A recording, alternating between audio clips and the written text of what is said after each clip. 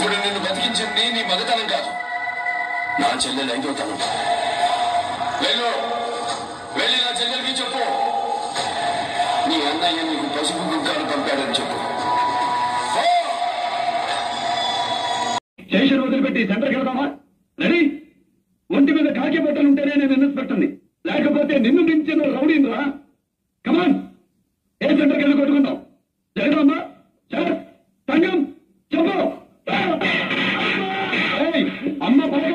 నీ అన్నని అడిగిరా అన్నా ఎవరు?